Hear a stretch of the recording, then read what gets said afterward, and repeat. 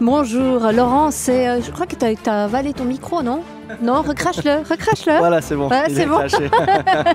Faut pas manger les micros. non, hein, c'est pas. bon Laurent, c'est le dernier. Yata aujourd'hui. Exactement. C'est le ouais. dernier Yata. Ouais, ouais, on va profiter, Euh, on finit en apothéose. En apothéose, c'est exactement. exactement ça. Juste un petit aperçu de notre prochaine demi-heure. Ouais, alors ce matin, on va recevoir monsieur Mathieu Zellweger qui a écrit un magnifique livre qui s'appelle Secret de d'eau, donc qui parle effectivement du saké, cette boisson quand même assez légendaire euh, japonaise. Et si on a le temps, je finirai quand même avec un petit conseil lecture roman et un conseil lecture manga pour cet été au soleil. Pony Express, Donc Laurent, pour euh, cette dernière édition, on accueille, tu l'as dit, un invité pour parler d'un sujet qui résume à lui tout seul le Japon, en tout cas vu de l'extérieur, c'est le fameux saké. Ton invité connaît très bien le Japon, il a sorti donc cet ouvrage qui est dédié à ce fameux alcool de riz, mais je vais te laisser nous le présenter plus en détail. Merci Hélène. Alors effectivement, salut Mathieu. Donc Mathieu Zellweger, tout au, tout au début d'IATA, quand il avait sorti son projet Kickstarter, j'en avais parlé, donc ça me fait plaisir que la boucle soit bouclée et qu'il soit là. Donc tu as sorti récemment le magnifique livre Secret de d'eau, comme j'ai dit, qui a quand même remporté le troisième prix PX3 de la photographie à Paris en 2016, qui est quand même un prix assez, presti- assez prestigieux. En 2018, 2018, pardon, hein, tu vois, il y, a- il y a deux semaines. il y a deux semaines. Alors en 2016, c'était quoi? En 2016, c'était une série d'images euh, sur le même thème qui avait remporté euh, aussi, je crois, un troisième prix, mais euh, là, en l'occurrence, c'est le livre qui a été pris. Ok, d'accord, alors super. Moi j'avais l'info de 2016. Alors, juste pour décrire en gros le livre, hein, il faut imaginer un grand format, un livre grand format relié à la japonaise, avec tout plein de photographies qui sont les tiennes, qui accompagnent la découverte de la fabrication du saké. Chaque chapitre est accompagné d'un joli haïku et de plein de kanji. C'est vraiment, il faut vraiment l'objet. Je vous invite à venir sur l'application pour Je voir. le tiens entre mes mains. Voilà, c'est vraiment, euh, il y a vraiment un choix éditorial qui est fait. On en parlera plus tard. Mais juste première question, Mathieu, pourquoi faire un livre sur le saké? Pour tout un tas de raisons, euh, certaines euh, presque. euh, comment dire Il n'y avait pas vraiment de plan, en fait. Je me suis retrouvé au départ à photographier autour du saké parce que j'avais un accès à certaines maisons de saké. Et puis, de fil en aiguille, j'avais euh, assez de travail pour euh, me dire que j'avais, je dirais, un, ouais, un corpus de photographique sur le saké qui me permettait d'en faire quelque chose. Et puis, à un moment donné, je me suis dit, bah, tiens, pourquoi pas un livre? Je suis, je suis un petit peu vieille école avec tout ça. Je trouve que des images, elles ont une belle place dans un livre. Je trouve qu'un un livre physique, c'est un bel écrin pour des images. Et puis je me suis dit, bah tiens, pourquoi pas un livre? Et puis, et puis voilà, je me suis mis à, à faire euh, un livre. Mais ça, ça a pris du temps, hein. ça, a été, ça a été un, un effort de très longue haleine. Là, tu dis justement, donc c'est vraiment le résultat de nombreux voyages au Japon, d'un grand travail. C'est une passion aussi qui t'a fait changer de métier parce qu'il faut, tu as un parcours assez atypique. Tu es chimiste de formation et Exact. du coup tu, tu es devenu photographe. Tu peux nous parler un petit peu de ce passage, cette expérience? Ben ça aussi, ça a été euh, un effort de, longue haleine et c'est quelque chose qui s'est pas fait du jour au lendemain. Alors effectivement, de formation à la base, je suis chimiste. Et puis, euh, voilà, la vie étant ce qu'elle était, j'avais euh, un métier dans l'industrie et puis les choses se passaient plutôt bien. Euh, mais voilà, j'ai toujours aussi été photographe parce que j'ai commencé quand j'étais tout petit, j'ai commencé quand j'avais 6 ans peut-être.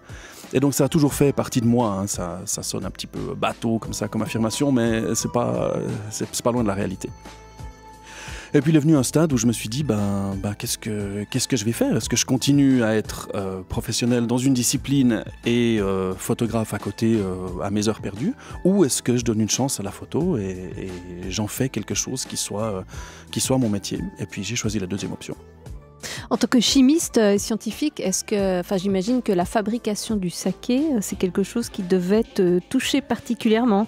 Alors ce d'autant que c'est extrêmement intéressant. La fabrication du saké, c'est super subtil, il y a plein de processus qui doivent être, euh, alors d'une part bien maîtrisés, et puis sur lesquels on peut avoir un impact qui aura un impact sur le produit final. Et effectivement, tous ces processus au niveau chimique, biochimique, c'est euh, magnifique. Il faut des fermentations, il y en a deux qui vont en parallèle, il y a euh, le choix d'une levure, le choix d'une façon de faire le fond de cuve. Enfin, il y a beaucoup, beaucoup de ces processus qui sont, extrêmement intéressants. On est euh, pas loin entre la fabrication du saké et le laboratoire. On est, on est, c'est ces deux environnements qui sont très proches.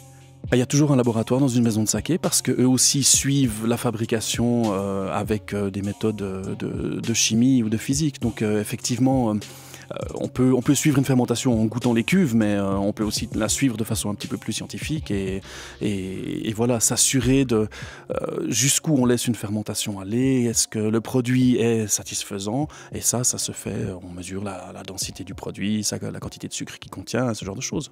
On parle saké ce matin dans Yata avec toi, Mathieu Tselveguer, reste avec nous. Et avec toi, Mathieu, on parle du Japon et du saké. Japon, euh, que notre invité Laurent raconte dans son livre de photographie Secret de riz et d'eau. Exactement. Alors avant de continuer un petit peu à parler du livre et, du Japon, j'aimerais quand même rappeler pour nos auditeurs peut-être, pour ceux qui ne sauraient pas ce que c'est, le saké. J'ai été chercher un petit peu euh, l'histoire de, de cet alcool. Donc à l'origine, c'est un alcool ou un nectar qui était dédié aux kami, donc les divinités japonaises.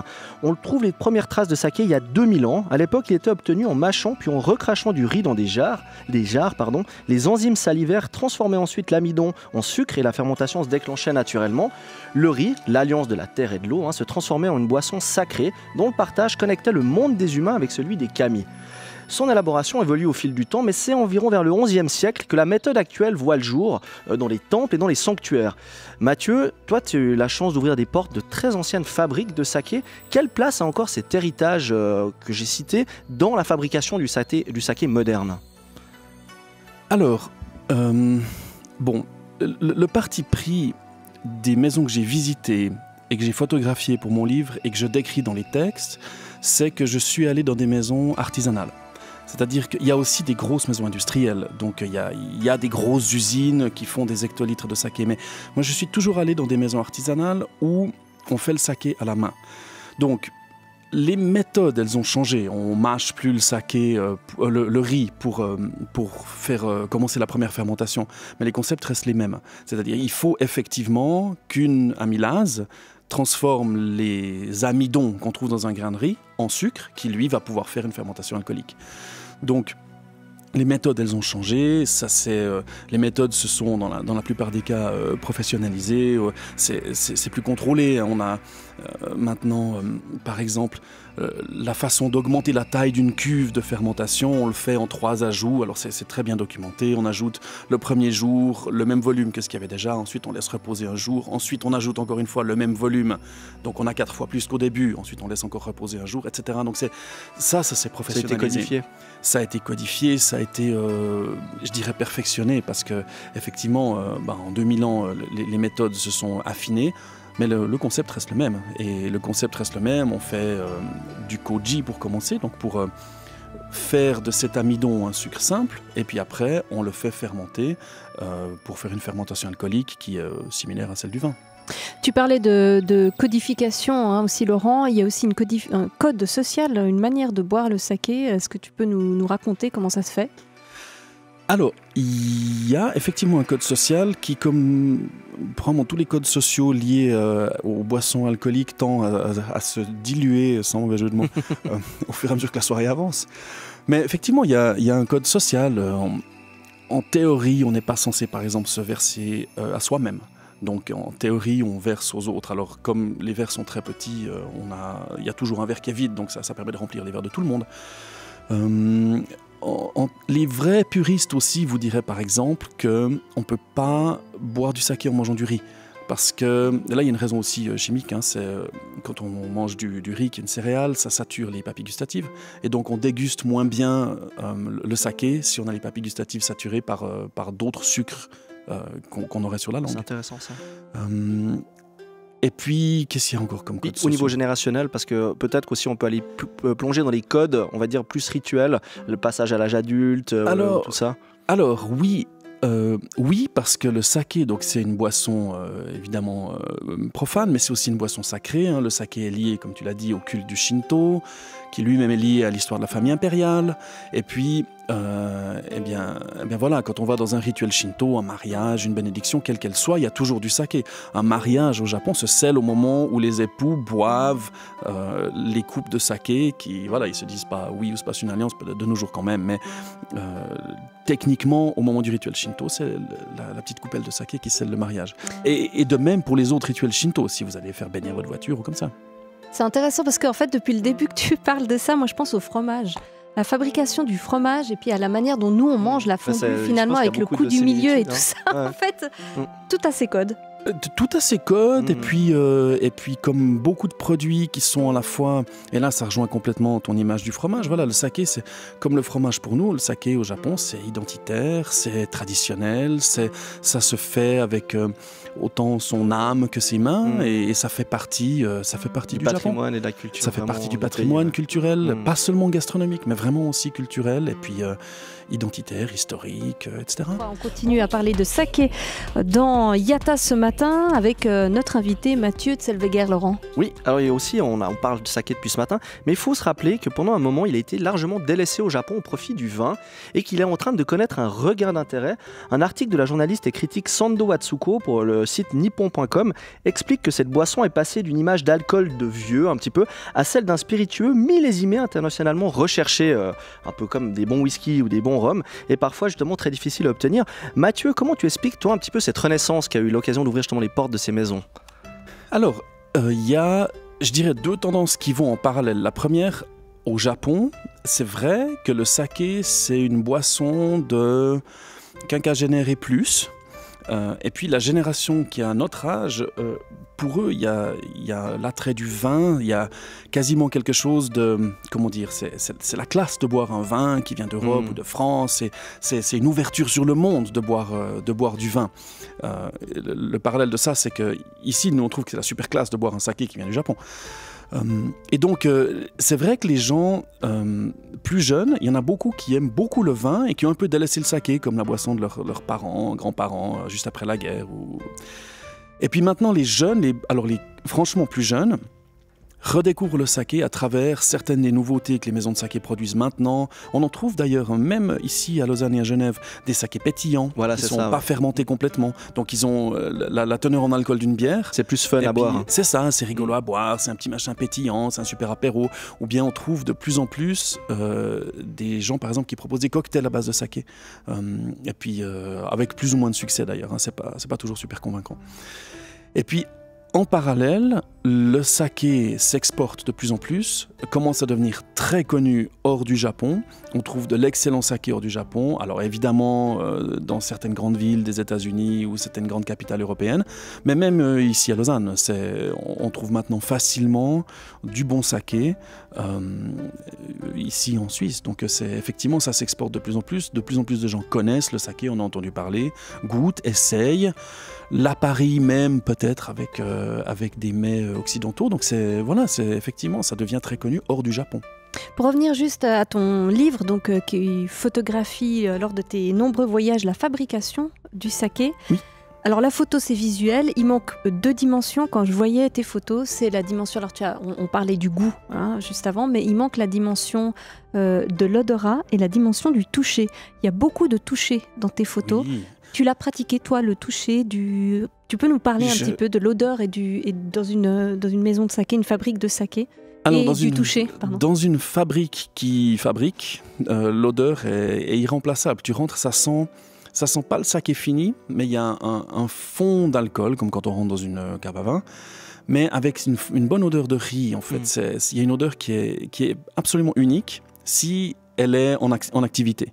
Après, si elle est hors d'activité, on sent un petit peu, mais, mais, mais pas tant que ça. Par contre, effectivement, il y a une odeur euh, très claire. Et puis, beaucoup de ces sakés artisanaux sont faits à la main et donc le toucher c'est effectivement très important.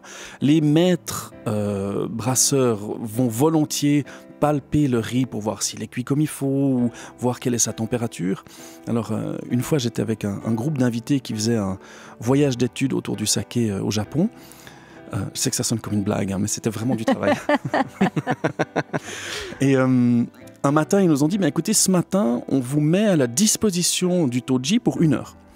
Le Toji, donc c'est le, le maître brasseur, c'est la personne qui supervise la- toute la fabrication.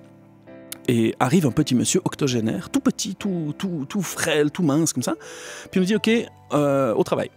Et il nous a fait bosser. Et donc effectivement, tu vois, tu prends ta, ta, ta bassine en bois, tu montes la charge de riz, tu dois la décharger sur un, sur un petit tamis, après tu dois bien étaler le riz, le refroidir pour qu'il fasse pas des, des, des gros grumeaux, il faut le, bien l'étaler, qu'il soit bien refroidi. Et en fait, c'est un boulot de fou.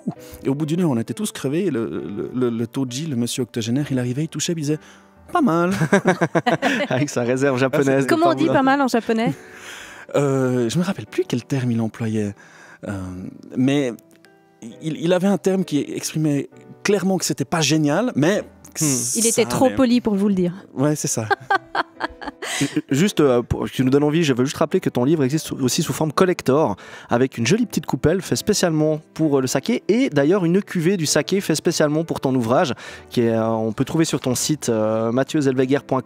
Donc il existe une édition standard et une édition collector. Je trouve ça super que tu aies eu l'occasion de pouvoir produire un saké pour ton, ton livre. Ouais, on va devoir malheureusement bientôt prendre congé de toi, mais on aimerait bien te garder pendant très longtemps. une dernière question que tu voulais poser à notre invité euh, Laurent, c'est euh, son prochain voyage, non? Oui, alors, ben voilà, as fait, tu nous l'as dit avant, tu es devenu maintenant photojournaliste, on peut peut-être appeler ça comme ça. Tu as délaissé ta, ton ancienne vie de chimiste. C'est quoi un peu tes projets futurs? Ça va toujours s'articuler autour du Japon ou on va pouvoir l'occasion de te voir partir sur d'autres horizons? Alors, il y a deux directions dans mon travail de, je dirais, euh, photographique. c'est toujours des histoires humaines. Donc, c'est toujours des histoires avec une forte composante de personnes qui sont impliquées. Je photographie beaucoup d'histoires en lien avec la santé. Euh, et des questions de société qui sont généralement connexes aux questions de santé. Et puis le Japon, ça va rester un, axe de mon travail. Exactement quelle histoire en lien avec le Japon, je ne sais pas encore, mais il y en aura sûrement une. Et pour l'instant, je suis en train de mettre la dernière main à deux projets photographiques qui sont en lien avec la santé. Super, on rappelle que ton livre s'appelle Secret de Riedo et qu'on le retrouve sur ton site. Super livre. Merci beaucoup. Merci Mathieu. Merci. Laurent Dormont et sa sœur La Belle au Bois. Je suis vraiment désolée, mais c'était tellement drôle. Laurent, pour cette dernière de Yata, tu euh, nous donnes quelques conseils lecture pour passer un agréable été. Ouais, j'ai choisi de faire simple. Hein. Je vous conseille un bon roman, un bon manga pour vous accompagner au bord de la piscine ou sur la plage cet été, hein, on ne sait jamais. Donc je commence mon conseil lecture avec un roman. Il s'agit des Hommes sans femmes d'Haruki Murakami, dont je vous avais tiré le portrait dans Yata. Alors Murakami nous plonge à travers sept nouvelles poignantes, pleines de musique, de mélancolie et de magie, dans le douloureux quotidien de sept hommes sans femmes.